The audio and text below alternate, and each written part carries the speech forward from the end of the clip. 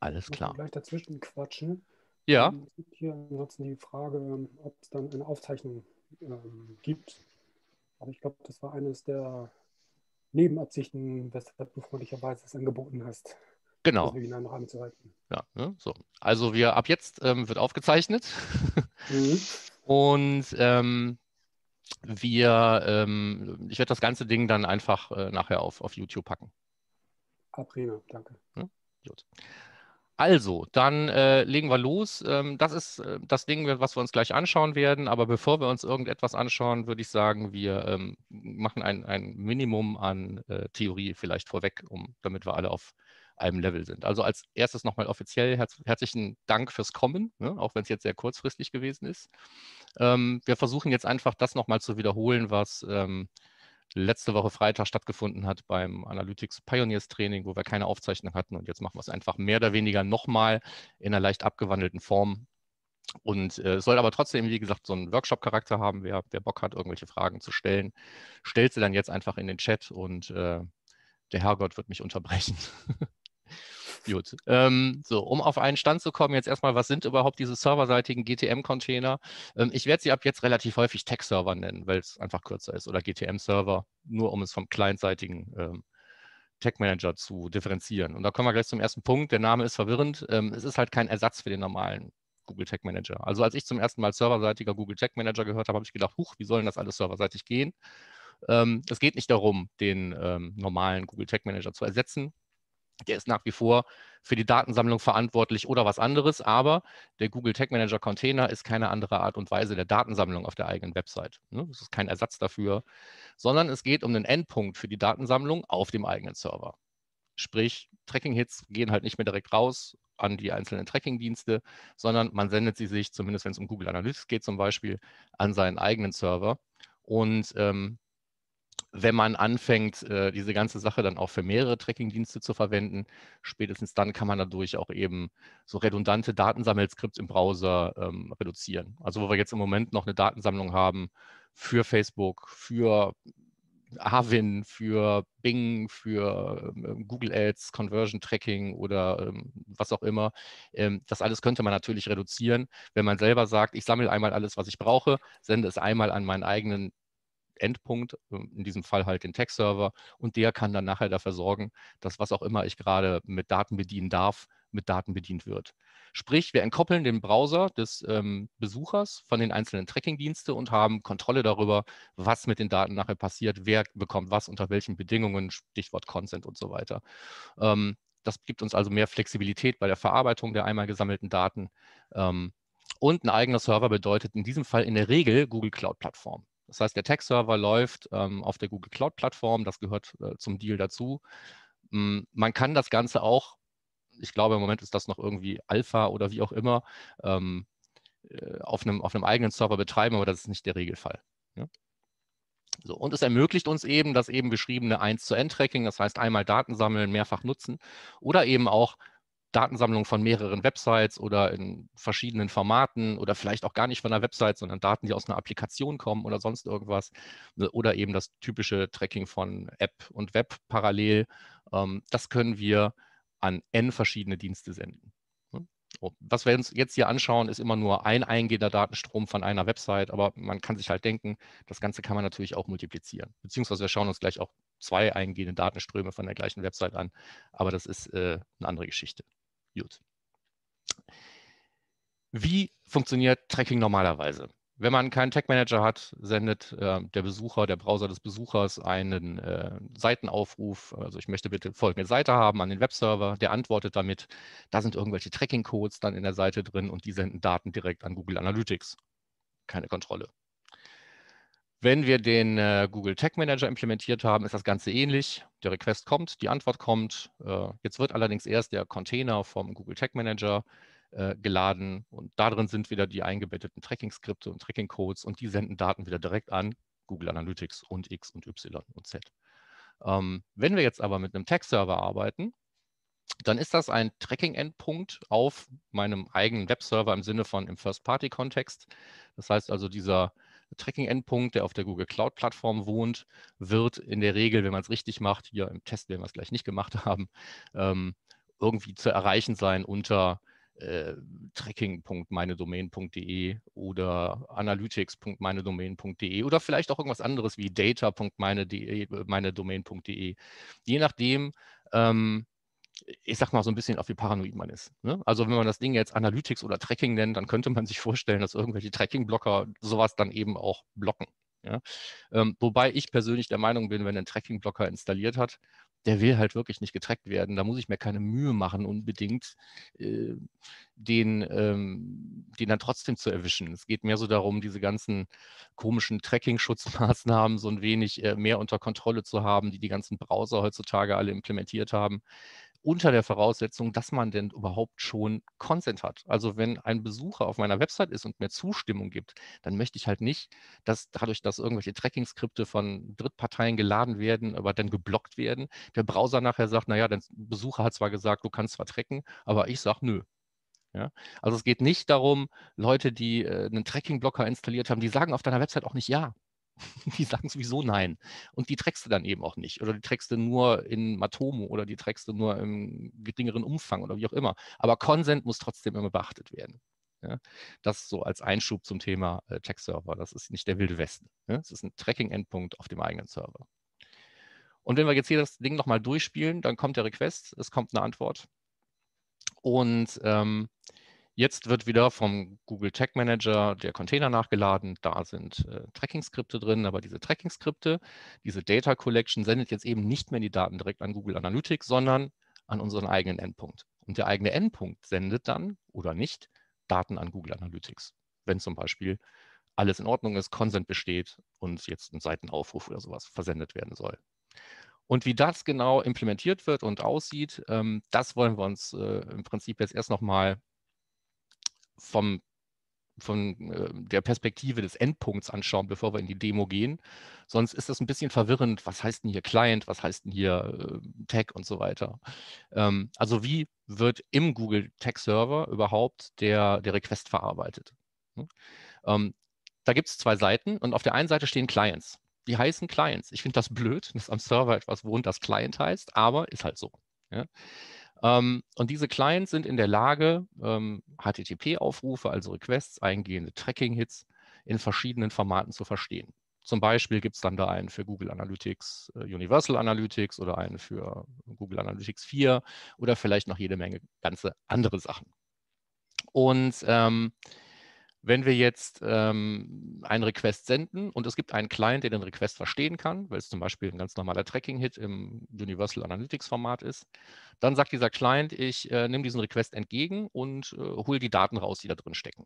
Also die ganzen Parameter oder was als Nutzlast im Post drin steht oder wie auch immer, ähm, wird in ein Event-Modell übersetzt, wo in einer strukturierten Art und Weise die Daten drinstehen. Das heißt, wenn auf der anderen Seite irgendwelche Tags sind, die Daten an Tracking-Dienste senden sollen, dann wissen die halt, na gut, der Seitenaufruf steht in diesem Eventmodell immer in einem, äh, also der Seitenname oder der Titel steht immer in einem Feld Page Title.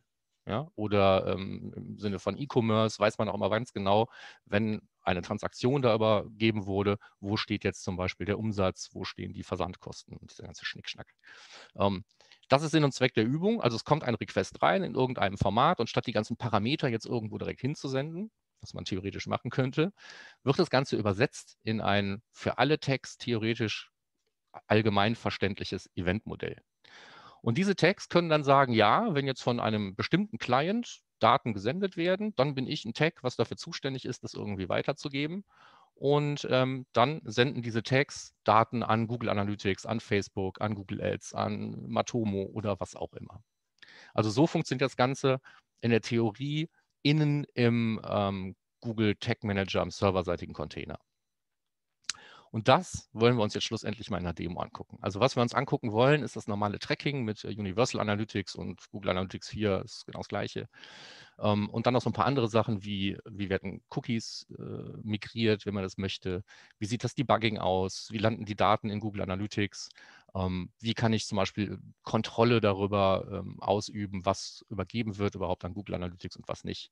Ähm, wie kann ich, und das ist relativ neu, ähm, meinen clientseitigen Google Tag Manager Container über meinen eigenen Server laden, statt von googletagmanager.com ähm, was aus eben genannten Gründen nicht verkehrt ist, wenn der Browser irgendwie sagt, ähm, ich lade nichts, was von Google Tag Manager.com kommt. Ähm, und dann gucken wir uns noch, wenn wir noch Zeit haben, ein paar andere Tech- und Client-Typen an, am Beispiel Matomo und vielleicht auch noch an anderen Dingen. Und äh, auch eine eigene Datensammlung, wenn man irgendwann sagt, naja, ich möchte eigentlich nicht mehr, dass die Daten nur im Google Analytics-Format gesammelt werden, weil ich hier auch noch irgendwelche anderen Dinge äh, mit erheben möchte. Und dann mache ich meine eigene Datensammlung. Das ist das, was wir uns anschauen wollen und das machen wir jetzt. Und zwar auf genau äh, diesem Shop. Das ist ein ganz normaler Shop mit ganz normalen Produkten. Ähm, da läuft normalerweise kein Tracking. Ähm, wenn wir jetzt gleich hier in der Vorschau irgendwelche Dinge veröffentlichen, dann sind es natürlich zum Zeitpunkt der Aufnahme, gibt es hier ein Tracking. Ich habe aber der Vereinfachung hier, äh, der einfache Teil war kein Consent Manager drauf. Das heißt, wer jetzt hier während der Aufnahme live da drauf geht, der wird getrackt. Sorry, kann ich nichts gegen tun. Ähm, also einfach zugucken und sich hier später umschauen, wenn man möchte. Also hier werden Atomkraftwerke nicht verkauft natürlich, aber ne, so, wir haben jetzt hier einen Shop und äh, da gibt es ganz normalen E-Commerce und dafür gibt es ein ganz normales Tracking. Und das Tracking ist verbaut in ähm, einem Google Tag Manager, einem ganz normalen clientseitigen Google Tag Manager Container, so wie der bei euch wahrscheinlich oder hoffentlich auch verbaut ist. Und was wir jetzt hier mal anmachen, ist ähm, das ganz normale Tracking von Seitenaufrufen und E-Commerce-Events. Und was wir jetzt auch mal anmachen, ist parallel eine Datensammlung für Google Analytics 4 ähm, so ein Tag hat der ein oder andere von euch wahrscheinlich auch schon äh, in seiner Implementierung und man sammelt jetzt schon mal wenigstens parallel Seitenaufrufe mit. Ja. Das Ganze machen wir jetzt mal an. Schauen uns das in der Vorschau an, damit es zumindest bei mir hier läuft. So.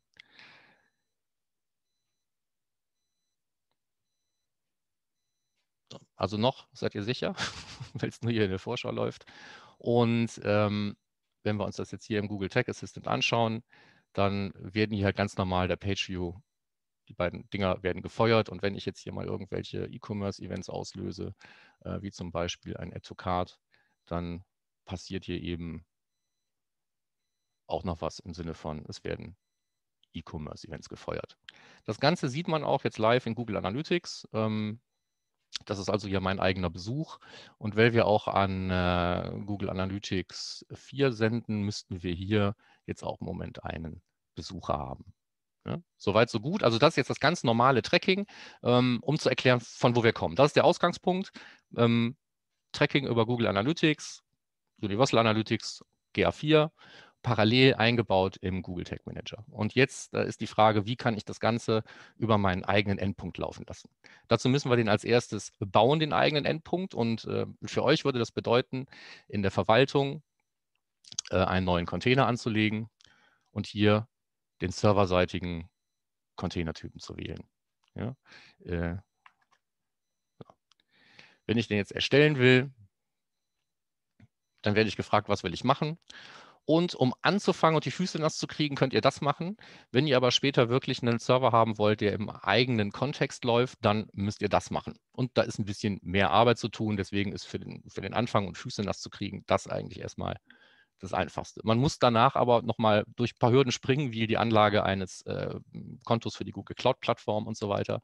Ähm, da gibt es aber auch Anleitungen dazu, da habe ich mal was zugeschrieben, da gibt es von Simo jede Menge Posts, also wie man einen Google Tag Manager, einen, einen serverseitigen Container errichtet, ähm, ist eigentlich klar und das machen wir jetzt hier nicht, weil es auch länger dauert. Ja? Also sparen wir uns den Quatsch, gehen zurück zu unserem äh, clientseitigen Container, weil wir da gleich ein paar Änderungen noch eintragen wollen. Und gehen hier in den serverseitigen Container, den ich schon fertig gebaut habe. Und den habe ich jetzt von sämtlichen Tags, Clients und whatsoever erstmal befreit. Ich glaube, wenn ihr den neu anlegt, dann sind da auch schon Clients und Tags drin, und zwar für Google Analytics. Ähm, wenn wir uns aber eh angucken wollen, wie funktioniert das Ganze in der, in der Praxis, äh, legen wir die einfach hier selber an. Das ist auch kein großes Hexenwerk. Sprich, das ist ähm, der Unterschied zwischen diesem Tag Manager und diesem Tag Manager sieht man vor allen Dingen hier auch im Menübereich. Es sind einfach ein paar andere Sachen da. Dafür sind viele andere Dinge halt sehr ähnlich. Ne? So, und was das erste ist, was wir brauchen, wie wir eben gesehen haben, ist ein Client. Also ein Client, der in der Lage ist, die Tracking-Hits, die jetzt im Moment direkt an Google Analytics versendet werden aus dem Browser und die demnächst an uns gesendet werden sollen, ähm, die entgegenzunehmen und zu verstehen. Und dazu legt man einen Client an, wenn keiner da ist. Ne? Wie gesagt, normalerweise müsste einer da sein. Und das, was hier unter mehr ist, das ist das, was ihr normalerweise seht, wenn ihr das Ding installiert habt. Und das, was hier drin ist, sind Dinge, die ähm, ich selber gebastelt habe, die kommen gleich noch zum Einsatz zum Teil, äh, sind aber normalerweise nicht da. Ja? Ähm, so, und wir legen jetzt für Google Analytics, Universal Analytics einen Client an und lassen alles, wie es ist. Und mehr brauchen wir eigentlich überhaupt nicht. Als erstes schauen wir uns aber an das Thema äh, Cookie-Migration. Also standardmäßig gibt es ein serververwaltetes Cookie, was hier verwendet wird, ähm, sobald wir auf diesen eigenen Endpunkt umstellen. Und äh, das Ding hat auch einen anderen Namen. Und wenn ihr wollt, könnt ihr auch die Migration von bestehenden Cookies hier aktivieren, sodass, wenn eine bestehende Client-ID da ist aus einem JavaScript-Cookie, dass die weiterverwendet wird. Blöd ist, wenn ihr das nicht anmacht äh, in eurem Client, ähm, dann habt ihr ab dem Tag, an dem ihr hierüber trackt, erstmal keine wiederkehrenden Besucher, sondern erstmal nur neue Besucher, weil die alten Client-IDs äh, möglicherweise verworfen werden. Ja? Also das äh, als Info dazu. Man kann das aber auch einfach ausschalten und weiter mit dem JavaScript verwalteten Cookie arbeiten. Das ist eigentlich alles, was es zum Client zu sagen gibt. Wenn ich ihn jetzt speichere, kriegt das Ding noch einen schönen Namen. Den lassen wir einfach. Und damit haben wir einen Client gebaut. Das ist jetzt ein Ding, was in der Lage ist, Hits zu verstehen, die im Format von Google Universal Analytics kommen. Und weil wir im Moment zwei Tags haben, bauen wir jetzt auch, wenn wir den nicht wirklich brauchen, auch für das andere Format, nämlich Google Analytics 4, äh, bauen wir uns auch noch so ein Ding und sparen uns jetzt mal das serverseitige Cookie.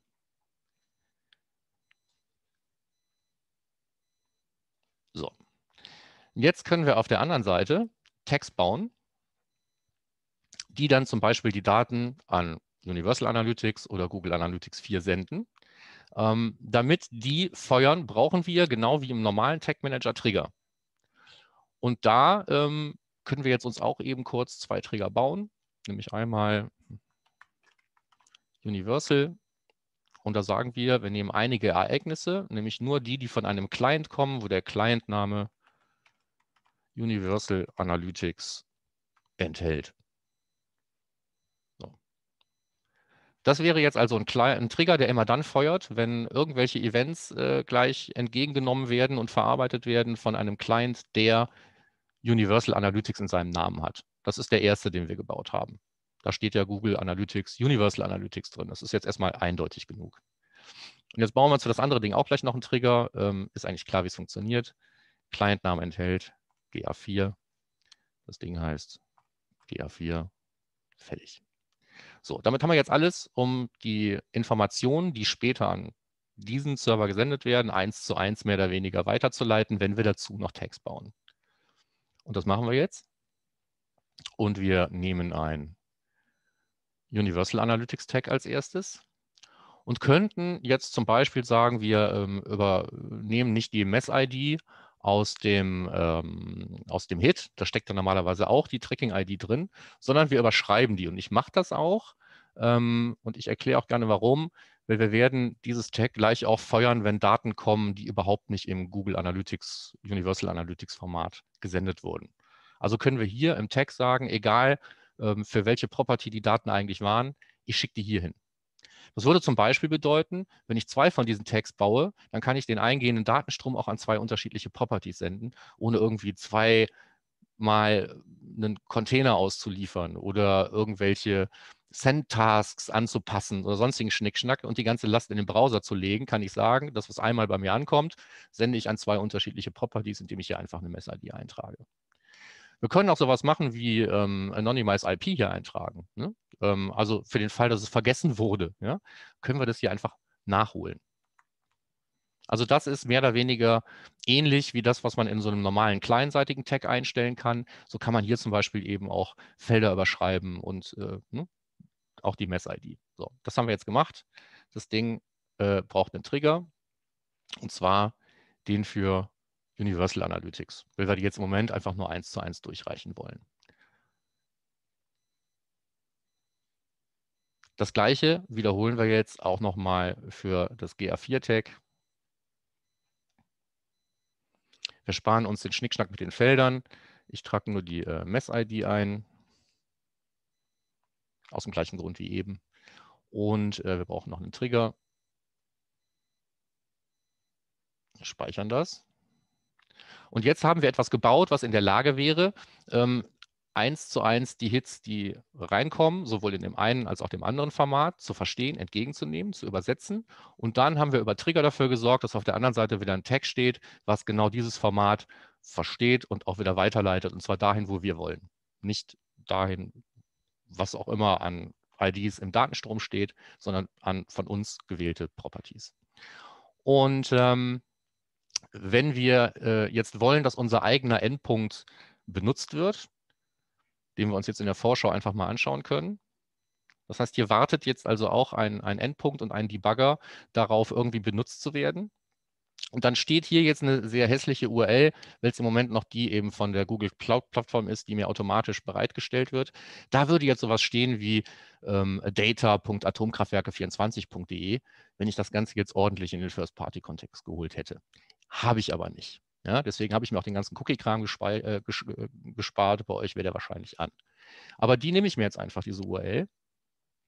Weil solange ich jetzt hier noch ähm, auf der Seite rumsurfe, landen die Hits immer noch direkt, weil ich noch nichts geändert habe an meinem clientseitigen Tracking. Ähm, gucken wir uns mal ein paar Hits an. So, das ist noch der falsche. Achso, Quatsch, nee, hier können wir uns das gar nicht angucken. Ähm, wir müssen uns das hier angucken, weil ich ja hier noch in der Vorschau bin. Ja, das heißt, ich muss hier irgendwas aufrufen. So, und wenn wir jetzt hier reinschauen, dann sind unsere ausgehenden Hits, die gehen halt hier noch direkt, wie man sieht, an googleanalytics.com. Das ist der im äh, Universal Analytics Format.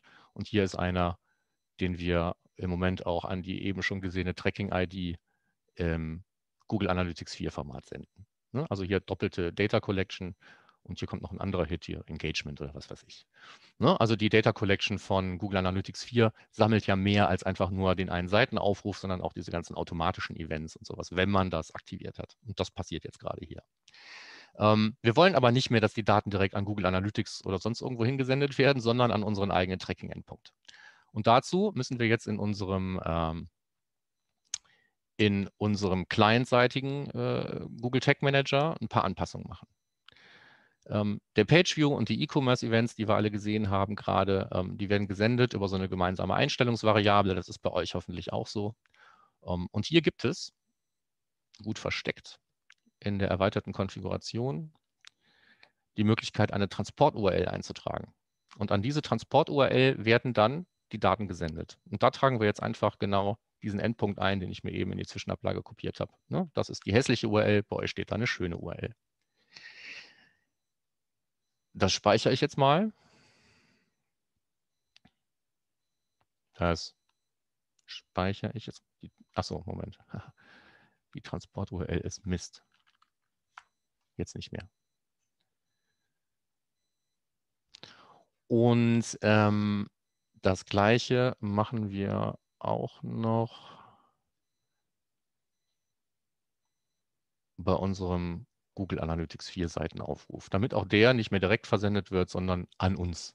Ähm, um das hier einzutragen, ist es ein bisschen äh, anders, weil da gibt es diese, äh, dieses Feld nicht, aber wir können hier als Transport URL auch die gleiche URL angeben und das hat den gleichen Effekt. Es gibt halt nur diesen, diesen blöden Knopf nicht, wo man es einfach irgendwo eintragen kann, ein bestehendes Feld, sondern man muss es halt als Feld definieren. Hat aber jetzt den gleichen Effekt, wenn wir in die Vorschau gehen. Und hier nochmal die Seite neu aufrufen. So, dann haben hier die Tags wieder gefeuert, ne, haben die Daten aber, das können wir uns jetzt hier angucken, an unseren eigenen Endpunkt gesendet. Ne. Hier steht nicht mehr googleanalytics.com hier steht auch nicht mehr googleanalytics.com. Sprich, in unserem serverseitigen Debugger müssten wir jetzt auch was sehen und das ist auch so. Ne? Hier haben wir einen Seitenaufruf, da ist ein eingehender Request gewesen ähm, im Google Analytics äh, Format und dann hat bei diesem Request unser Google Analytics Universal Client gesagt, hey, das verarbeite ich und ich mache da Daten draus. Und zwar ist es ein Event, ein Pageview gewesen und während dieses Events habe ich folgende Daten aufgezeichnet. Hier ist die Client-ID, hier ist der Eventname, hier ist meine IP, ähm, Language und so weiter, Page Location, also alles, was man so braucht. Und ähm, weil wir es so definiert haben, haben wir jetzt auch ein Tag, was gefeuert hat, nämlich das Google Universal Analytics Tag. Und das hat diese Daten verarbeitet, indem wieder ein Request rausgegangen ist. Und das ist ein ganz normaler Google Analytics Tracking Request, so wie er rausgegangen wäre direkt aus dem Browser, wenn wir nicht die Transport-URL geändert hätten.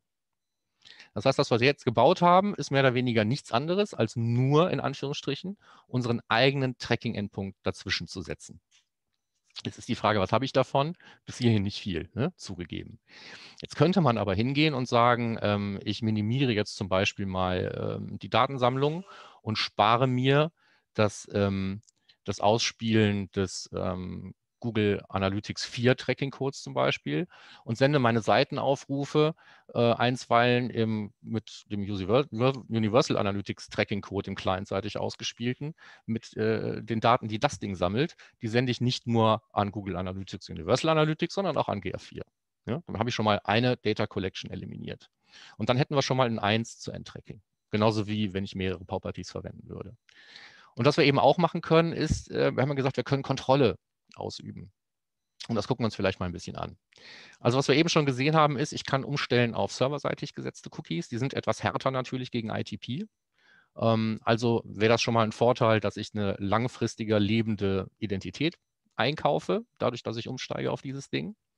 Ähm, und ich kann äh, zum Beispiel in, äh, in meinen Tags hingehen und könnte, ähm, hier machen wir es mal nicht, so und könnte äh, weitere Felder noch hinzufügen. Und zwar könnte ich ein Feld hinzufügen, ähm, das einfach IP-Override heißt. Und dann würde in meinem ausgehenden Hit nachher, und das können wir dann auch uns anschauen, meine IP gar nicht mehr drin sein im Hit. So, ich brauche da auch gar keinen Wert. Ich kann da jetzt auch True reinschreiben oder was auch immer, das ist eigentlich wurscht. Das reicht, wenn das Feld existiert. Und das Gleiche kann ich mit einem Feld machen, das User Agent heißt. Und damit ich mich ja nicht verschreibe, mache ich das hier auch per Copy-Paste. So, wenn ich das jetzt speichere und mir das Ganze wieder erneut in der Vorschau anschaue und hier über die aktive Vorschau ähm, nochmal einen neuen Seitenaufruf abschicke, dann haben wir den jetzt hier in unserem serverseitigen Debugger. Da sind meine beiden Collect-Hits, die reingekommen sind. Ne? Einmal GA4, einmal Universal Analytics. Und hier bei Universal Analytics würden wir beim ausgehenden Request jetzt keine, ähm, äh, keine IP mehr sehen.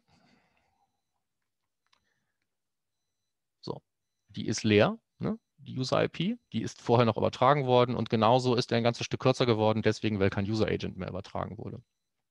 Und ähm, das wäre äh, zum Beispiel etwas, um äh, wirklich dafür zu sorgen, dass äh, mir auf meinem eigenen Server zwar noch User Agent und IP des aufrufenden Clients, also des Browsers meines Besuchers bekannt sind, das aber überhaupt nicht in keiner Art und Weise irgendwie bei Google Analytics landen würde. Ähm, das ist ein Teil von Kontrolle, den ich äh, mit den vorgefertigten Mitteln, die jetzt hier im, im Google Tag Manager, im Tag Server zur Verfügung stehen, ähm, schon ausüben kann. Genauso kann ich natürlich hingehen und kann noch äh, Kontrolle ausüben, indem ich einen eigenen Client im Moment noch schreiben muss oder darauf warte, dass die Community mir neue Clients schreibt, ähm, die auch andere Komfortfunktionen mir noch bietet. Ne?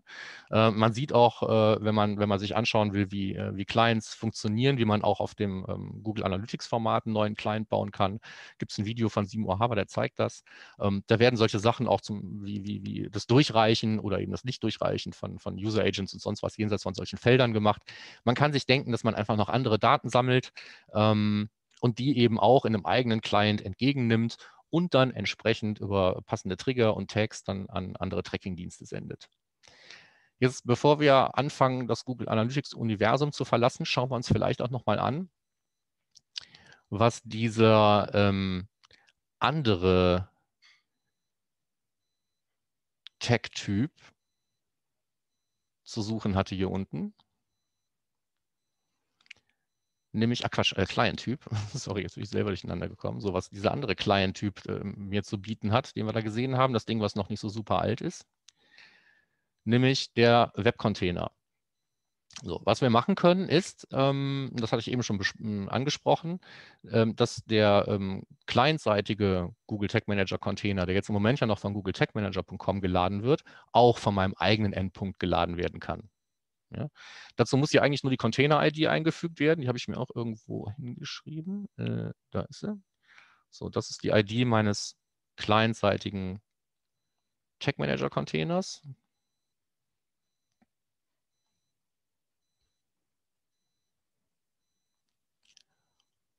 Und da passiert jetzt erstmal noch gar nichts, auch wenn ich in die Vorschau gehe, weil noch versucht niemand von da ein, äh, ein, ein, ein, Skript zu laden. Ne? Das heißt, wenn wir jetzt hier noch mal eine Seite aufrufen ähm, und schauen hier mal nach äh, der ID, dann sieht man halt, im Moment wird immer noch vom Google Tag Manager.com werden, wird der Container geladen. Und ähm, wenn ich das jetzt ändern will, dann muss ich meinen Google Tag Manager Implementierungscode anpassen. Ähm, bei mir habe ich das realisiert, indem ich hier ähm, nicht den üblichen Plugins das äh, Implementieren des Google Tag Manager Codes überlassen habe, sondern ich habe es halt hier jetzt über ein, ein, zusätzliches Plugin gemacht. Und hier wird jetzt im Moment, äh, das ist die Stelle im Code, ich mache das mal was größer. So müsste man das gut sehen können. Ähm, hier wird im äh, normalen Google Tag Manager Code halt der Tag Manager geladen. Und was ich jetzt mache, ist, ich tausche die aus gegen eine Zeile, in der halt hier von meiner hässlichen Domain genau der gleiche Aufruf stattfindet. Ja, wenn ich das jetzt speichere und ähm, hier nochmal, wo ist meine Seite hingekommen? So, zurück. Jetzt noch meine Seite aufrufe, dann sieht man, dass auch der Google Tag Manager Container nicht mehr von äh, Google Tag Manager.com geladen wird, sondern von meiner eigenen Domain. Das müsste man jetzt hier auch sehen, dass dieser ähm, Hit hier angekommen ist. Ne? Hier sind die ähm, angef angefragt worden und der hat die jetzt verarbeitet und hat dann die Dinger entsprechend weitergeleitet. Die werden hier gecached. Ne? Hier sieht man also, einmal gibt es zwei Hits. Ähm, da wird das Ding abgeholt und ähm, ab da kann der Google Tag Manager das Ding selber ausliefern. Ähm, gut. Was wir jetzt machen als nächstes, gibt es bis, bis hierhin Fragen? Auch ein Nein würde mir reichen. Der Herrgott hat sein Telefon ausgeschaltet. Nein, bisher ähm, keine Fragen. Nee, von dir auch nicht.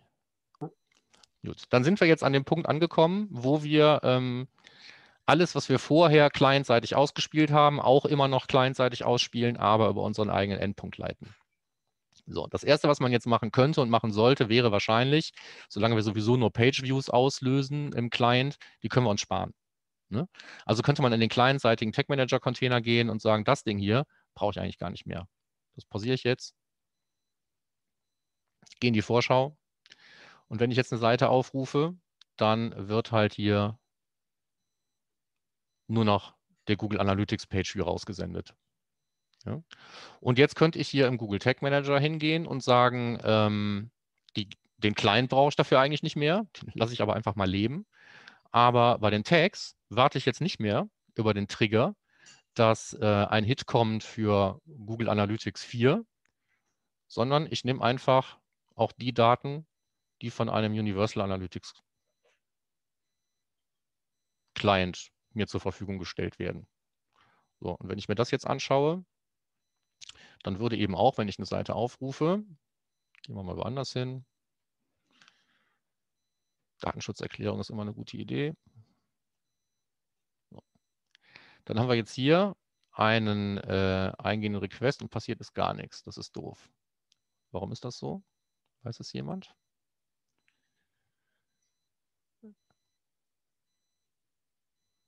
Ach so, ja, wenn er die Änderung nicht mitbekommen hat. ja, so, wieder reingefallen. Ähm, ich ändere mal kurz hier wieder, damit der geänderte Container geladen werden kann. Wir haben jetzt hier einen gecachten Container, den wir von unserem eigenen Server laden. Ich mache das hier mal rückgängig, einfach nur damit unsere Änderungen jetzt überhaupt stattfinden. So. Jetzt müsste das eigentlich besser funktionieren.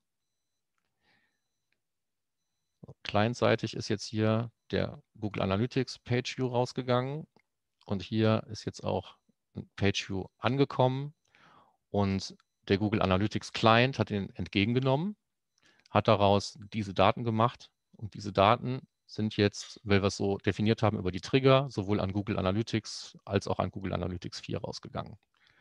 Hier ist der Hit und hier ist auch noch ein User. Ne? Das sind wir jetzt über unseren eigenen Tracking-Endpunkt. Gesammelt haben wir aber jetzt auf der Seite nicht mehr ganz furchtbar viel ähm, Zeugs, sondern wenn wir jetzt die Seite einmal laden, haben wir hier tatsächlich auch nur einen Collected. Das heißt, das ist diese, ähm, der, der Tag, den wir übrig gelassen haben vom Universal Analytics 4 Format statt im Browser, in jedem Browser eines jeden Besuchers zweimal den gleichen Kram zu sammeln, nur um es an zwei sehr, sehr identische Tracking-Dienste zu senden. Ja, das wäre schon mal ein Punkt der Optimierung. Was wir jetzt als nächstes machen, einfach weil es lustig ist, ähm, gehen wir mal in den äh, serverseitigen Tag Manager Container und sagen, naja, wir nehmen jetzt einfach mal einen neuen Tracking-Dienst dazu, bauen uns jetzt mal einen Tag, was ähm, Daten an Matomo sendet und brauchen dazu eine Endpunkt-URL, die ich mir irgendwo aufgeschrieben habe. So. Das ist der Endpunkt meines eigenen Matomo-Trackings. Ähm, Site-ID 1, API-Version 1, das kann man alles lassen. Ähm, und wir nehmen unsere Universal Analytics Hits und versuchen die an Matomo zu senden.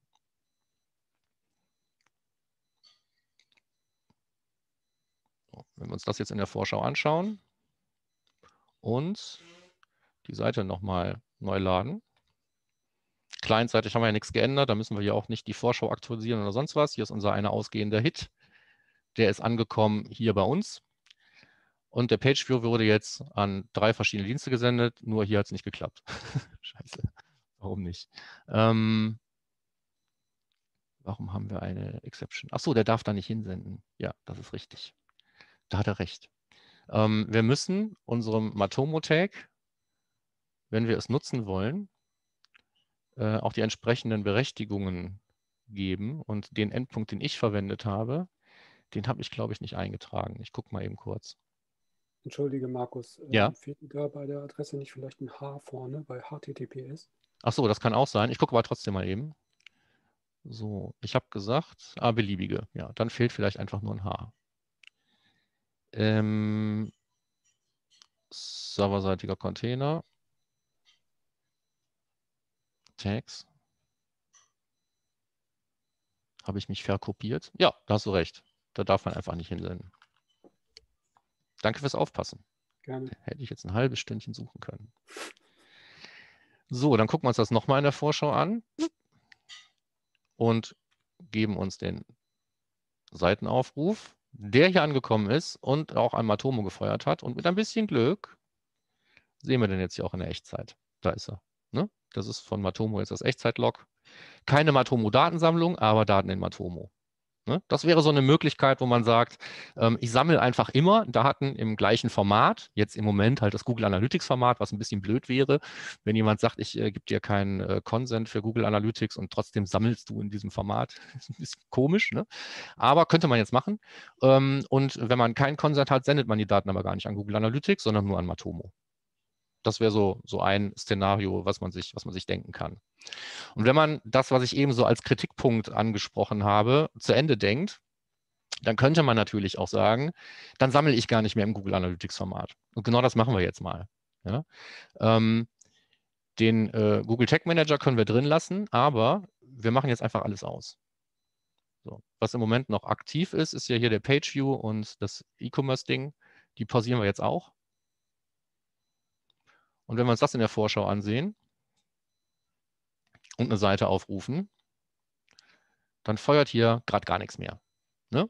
Das heißt, wir machen keine Datensammlung mehr whatsoever. Hier gibt es gar keinen Collect mehr. Ich lade nochmal neu. Ähm, nur der hier von meinem internen Coco Analytics. Ne? Aber nichts mehr, was irgendwo äh, an Google Analytics in irgendeinem Google Analytics Format oder an unseren eigenen Server gesendet werden würde. Ähm, in unserem Backend kann ich jetzt aber ähm, bei Matomo in den Einstellungen das äh, Hinzufügen eines Tracking-Codes einfach im Plugin. Also hier ist es einfach Matomo ist hier ein Plugin in, in, installiert. Und da steht normalerweise diese Zeile drin. Und da ist dann der, der Endpunkt, an den Matomo normalerweise Daten sendet. Und was wir jetzt machen ist, wir senden Daten nicht mehr an Matomo, sondern wir senden Daten äh, an unseren, das war schon richtig so, wir senden Daten an unseren eigenen Endpunkt. Ne? Hier ist wieder unsere hässliche URL. Und hier werden jetzt äh, Daten gesendet an einen Endpunkt, der heißt slash Matomo. Wenn wir das jetzt aktivieren,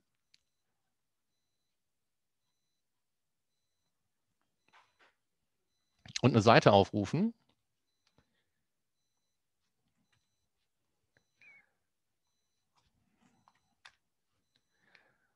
dann geht hier ein Hit an diesen Endpunkt Matomo raus und unser serverseitiger Tag Manager Container hat den auch bekommen, kann da aber gerade noch nichts mit anfangen. Also müssen wir ihm jetzt das Lesen von Matomo beibringen. Das machen wir schnell. Was brauchen wir? Einen Client natürlich, genauso wie bei den anderen Formaten. Also gönnen wir uns einen äh, Matomo-Client. Und eigentlich müssen wir hier so ziemlich gar nichts einstellen. Jetzt gehen wir in die Vorschau. Machen einen neuen Seitenaufruf. Jetzt hat das auch geklappt hier. Ne? Wir haben einen 200 zurückbekommen von unserem eigenen Endpunkt. Der hat gesagt, das kenne ich, das verstehe ich, nehme ich entgegen. Gehen wir hier nochmal auf den Request. Hier ist der eingehende Request. Und ähm, da ist unsere Matomo Data Collection. Und der hat jetzt eine Page View gemacht. Und das sind die Eventdaten, die rausgekommen sind. Wir haben eine Client-ID, wir haben dies, das, sonst noch was. Also eigentlich ziemlich viel von dem, was man braucht, um normale Daten wegzusenden. Und das Einzige, was dieser Client jetzt noch gemacht hat, der hat sich jede Menge weitere Informationen, die eher nur für Matomo interessant sind, noch mitgemerkt, um einem eventuell auf der anderen Seite wartenden Tag mit den ganzen Informationen zu versorgen. Was uns jetzt hier fehlt, ist aber, es ist noch kein Tag gefeuert worden. Warum nicht? Weil wir zwar jetzt einen Client haben, der es versteht, aber wir haben noch keinen Trigger gebaut. Ja? Jetzt bauen wir also für unseren Matomo-Client einfach einen weiteren Trigger.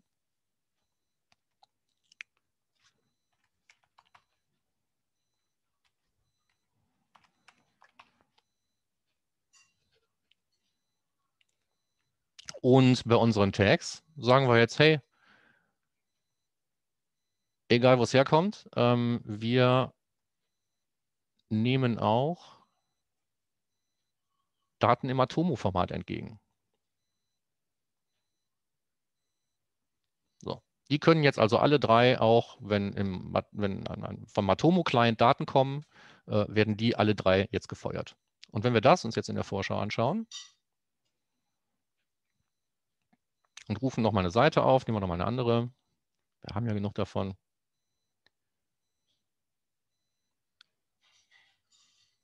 So, dann hat hier im Client immer noch nichts gefeuert, weil wir noch nichts angemacht haben. Unsere Matomo Data Collection hat aber jetzt die Daten an unseren eigenen Google Tag Manager Endpunkt gesendet. Der hat genau wie eben eine Page View erkannt und dadurch, dass wir es jetzt getriggert haben, ist ein Universal Analytics rausgegangen, einer an GA4, einer an Matomo. Hier ist er, ähm, hier ist auch noch irgendwo was. So. Und hier ist unser neuer Seitenaufruf, Startseite. Ja, gehen wir mal woanders hin. Ähm, und zwar machen wir das mal weg, brauchen wir jetzt nicht mehr. Dann ist es was übersichtlicher. So, das ist Normalgröße. Äh, gehen wir mal auf ein Atomkraftwerk. Und jetzt sehen wir hier schon wieder, da ist eine ganze Menge passiert, Page Views und sonstige Geschichten. Und ähm, die sind rausgegangen und hier sind jetzt auch die zusätzlichen Aktionen. Und wenn wir jetzt mal eine E-Commerce-Aktion auslösen, dann müsste auch die übertragen werden können. So, da ist auch eine E-Commerce-Transaktion angekommen. Im Moment ist es ein verlassener Warenkorb. ja, aber ähm, man sieht das Prinzip. Also wir haben jetzt eine Data Collection in einem Format, nämlich im Matomo-Format, haben einen Endpunkt auf unserem eigenen Google Tag Server für Matomo-Hits äh, als Client in, äh, errichtet und haben über die entsprechenden Trigger dafür gesorgt, dass die von uns anzuschließenden Tracking-Dienste, nämlich zweimal Google Analytics und einmal Matomo, mit Daten versorgt werden. Soweit auch alles klar noch? Nehme ich an, hoffe ich. Von meiner Seite her ja. Wunderbar. Gut, dann versuchen wir vielleicht noch einen letzten Schritt zu gehen. Und ähm, äh, wer meinen Blog gelesen hat oder die anderen äh, Videos auf meinem YouTube-Kanal kennt, der weiß, dass ich ähm, ein großer Freund von einer eigenen Data Collection bin. Ähm, also gehen wir das jetzt auch einfach mal an. Dazu machen wir jetzt den Matomo-Kram hier einfach wieder aus, weil wir ihn nicht mehr brauchen. Das heißt, im Moment tracken wir jetzt überhaupt nicht mehr. Und jetzt sagen wir hier im ähm, Google Tag Manager im clientseitigen, wir lösen mal Seitenaufrufe und E-Commerce-Events aus. Man sieht, die Trigger sind mehr oder weniger die gleichen. Ähm, und schießen da ein eigenes Tag. Das ist jetzt ein, eine Vorlage, die ich mir hier auch selber gebaut habe, die in einem eigenen Format Daten raussendet. Das ist ein relativ simples Format. Ähm, die E-Commerce-Dinger verarbeite ich auf der anderen Seite in meinem eigenen Tag auch noch gar nicht, aber das Prinzip können wir uns hier trotzdem anschauen. Ähm, das heißt, wir werden jetzt hier, wenn wir in die Vorschau gehen, eine Data Collection sehen, die stattfindet in einem ganz anderen Format, wenn wir eine Seite aufrufen. So, und zwar geht hier noch raus. Äh, sowas hier. Ne? Auch da wird im Moment noch nicht verstanden von unserem Server, kann da nichts mit anfangen. Aber hier sehen wir schon auf jeden Fall unseren Request, der rausgeht. Ähm, der hat hier so ein paar Parameter und da steht sowas drin wie die Location, der Referrer, eine Client-ID, die aus einem Cookie gelesen wurde, ähm, ein Titel und sowas. Ne? Also halt nicht viel. Das ist alles, was wir jetzt im Moment hier übertragen. Und jetzt bringen wir unserem Google Text Server per Client bei, das Ganze zu verstehen. Das machen wir genauso wie beim Atomo. Es gibt hier einen entsprechenden Client dazu. Ähm, es gibt einen Cookie-Namen, den ändere ich jetzt einfach mal in, äh, ich hatte, glaube ich, was vorbereitet. Äh, diese Demo Client ID, da wo auch dieses Analytics Pioneers drin stand, da schreiben wir gleich noch was anderes rein. Und auch hier machen wir aus äh, gleichem Grund wie vorher, ähm, tragen wir jetzt eine Tracking ID ein, damit wir die gleich mitsenden können. Ähm, bei allen Hits, dann werden die mit dieser Tracking-ID ausgestattet und dann ähm, weiß man, wenn auf der anderen Seite ein Tag sein sollte, wo keine Google Analytics Client-ID drin ist, aber wir wissen, wir wollen die eigentlich primär dahin senden, können wir auch hier optional schon mal eine Tracking-ID eintragen. Das machen wir jetzt und bauen auch dafür schnell einen Trigger.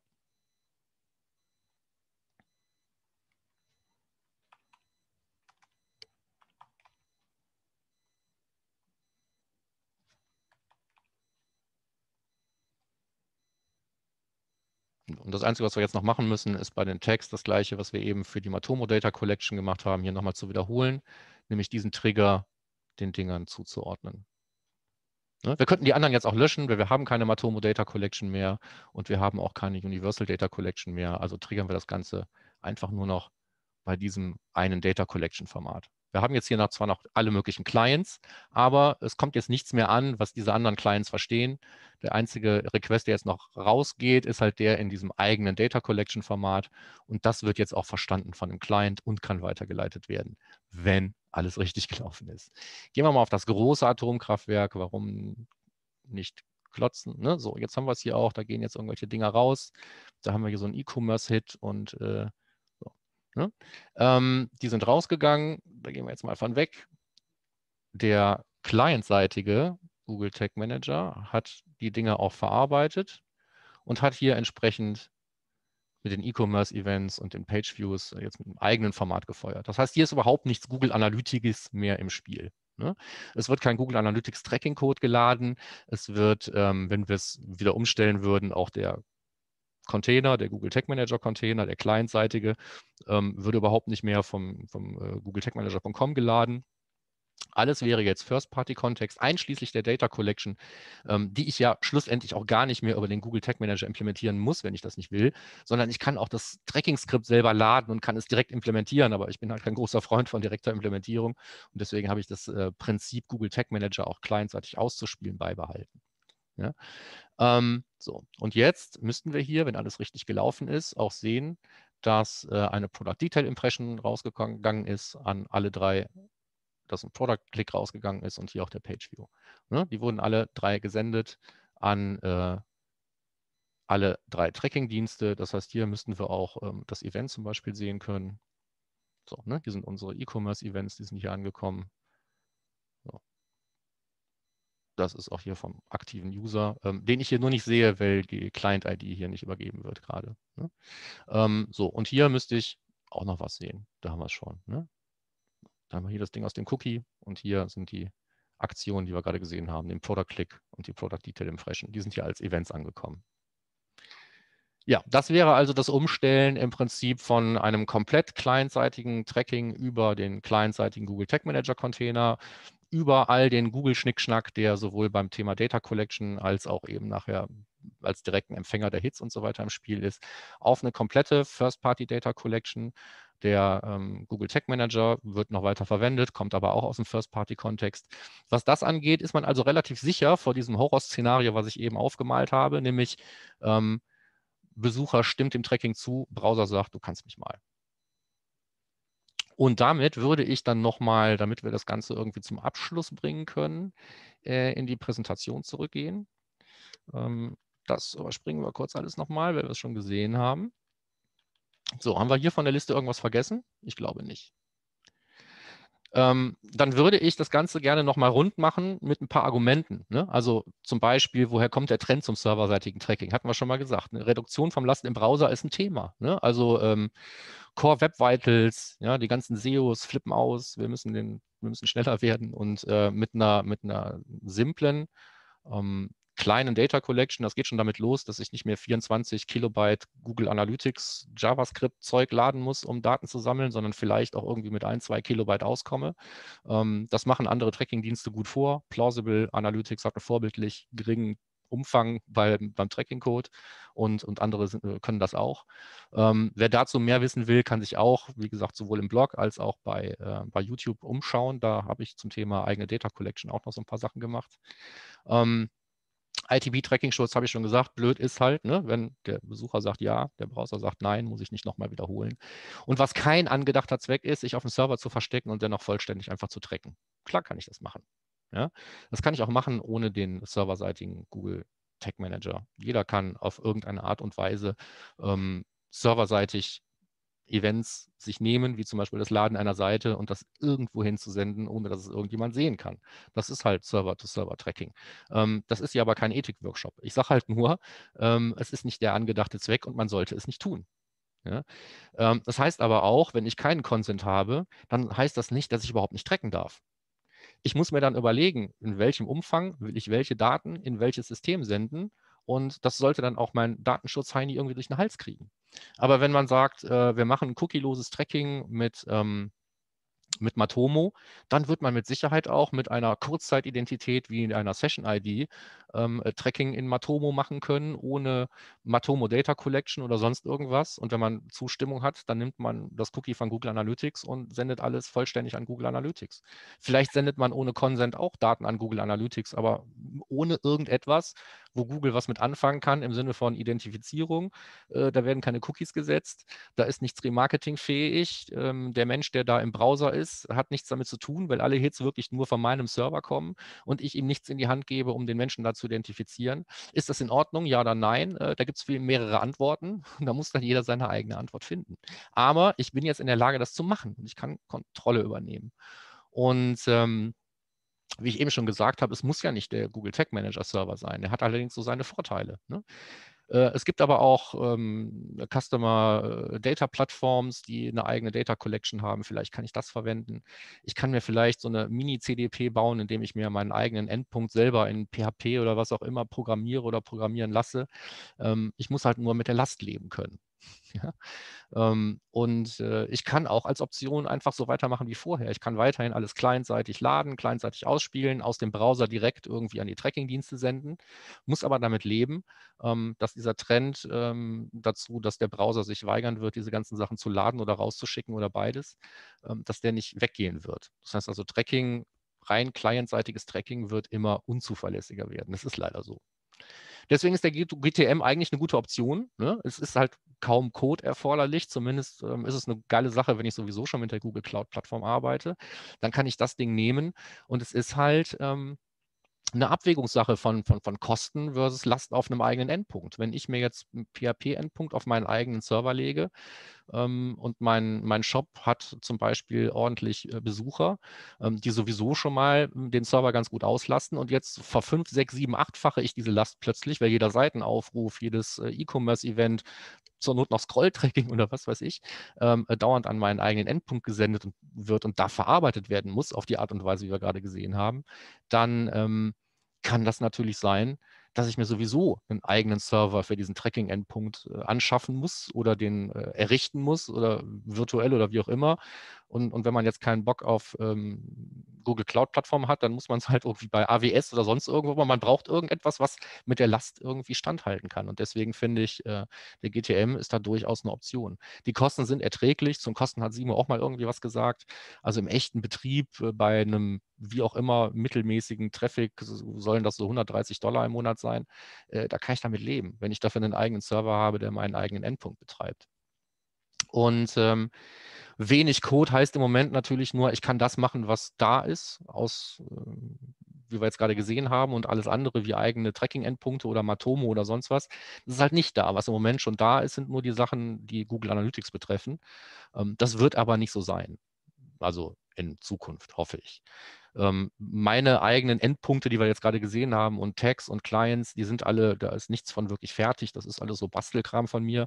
Das würde ich jetzt nicht in die Template Gallery reinpacken. Aber es gibt Leute, die haben ja auch die Templates für den clientseitigen Tag Manager gebaut.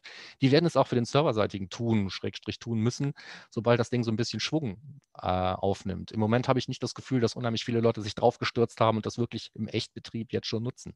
Viele Leute probieren, glaube ich, eher so wie ich jetzt damit noch rum.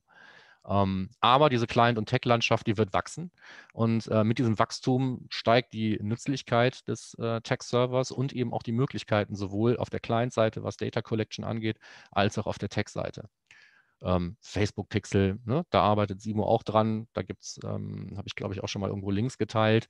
Ähm, habe ich ja auch benutzt. Also das ist das Einzige, was ich nicht selber gemacht habe. Ne? Da gibt es schon mal was. Also wenn man jetzt sagt, ich möchte Facebook auch über den, über den Google äh, Tag Manager ausspielen und auch serverseitig nutzen, ähm, dann kann man das machen. So ist es nicht. Ja. Ähm, damit schließe ich ab mit einem kleinen Cheat Sheet. Äh, das gibt im Prinzip nochmal eine Übersicht über das, was wir jetzt ja alles hier gesehen und, und erfahren haben. Unten sind die Grafiken vom Anfang. Die sind hier nur mit einem geileren Endgerät und anderen Farben, aber ansonsten ist es genau das Gleiche. Ähm, ich glaube, das ist eine, eine, gute Zusammenfassung von allem, was wir jetzt hier, glaube ich, äh, jetzt hoffentlich ausreichend äh, tief und trotzdem nicht zu technisch. Ich meine, es ist halt ein technisches Thema, sorry, ne? kann man nichts gegen machen. Ähm, aber was wir hier gesehen haben. Und das Einzige, wo ich jetzt nochmal drauf eingehen würde, ist das Thema Kontrolle. Ne? Also ich habe ein paar Dinge gezeigt, wie wir über Felder Kontrolle übernehmen können. Natürlich ist ein eigener Client eine viel bessere Möglichkeit, Kontrolle zu übernehmen. Was könnte ich in einem eigenen Client machen? Ich könnte eine eigene Validierung machen. Ich kann konsentkonform Daten bereinigen. Ich könnte ähm, ähm, Daten anreichern, Dimensionen anreichern. Alles, was jetzt im Moment über Custom Task und sonstigen Schnickschnack irgendwie im Client stattfindet, über den clientseitigen Google Tag Manager, in dem da irgendwelche Zauberdinger äh, ausgespielt werden, jede Menge JavaScript, Bot-Erkennung.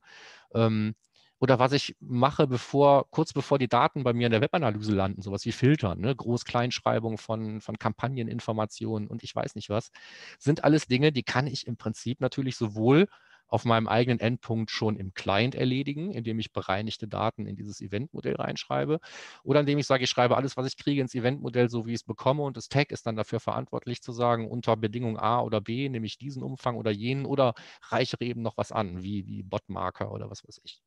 Ne, soweit man die entweder ähm, clientseitig in seiner eigenen Data Collection mitsendet oder auch nur anhand von irgendwelchen serverseitigen Signalen erheben kann. Ähm, den Googlebot erkenne ich anhand seinem, User Agent String. Dazu muss ich ihn nicht an die Webanalyse senden, aber ich kann auf dem Server schon erkennen, das ist der Googlebot, also sende ich das Ding nicht raus. Oder ich sende ihn in einer extra Property, wo ich meine Bots sammle oder was auch immer. Ich glaube, der Punkt ist klar. Ne? Kontrolle habe ich selber, aber Kontrolle habe ich nur dann, wenn die Daten nicht irgendwie ähm, vom Browser aus direkt schon an Tracking-Dienste gesendet werden. Klar kann ich ein bisschen was kontrollieren, wie schon gesagt, über Custom Tasks und sonstige Geschichten und das Tracking an sich, was da stattfindet. Aber so Dinge wie den User Agent und ähm, oft auch den Referrer und so Sachen wie die URL, die vollständige und äh, Cookies und sonstiges. Das sendet der Browser halt bei allen Requests mit, ob da nur ein Tracking-Skript angezogen wird, ein Google Web Font oder ob da äh, Tracking-Hits rausgesendet werden. Das sind alles Sachen, die vom clientseitigen Tracking schwer wegzubekommen sind.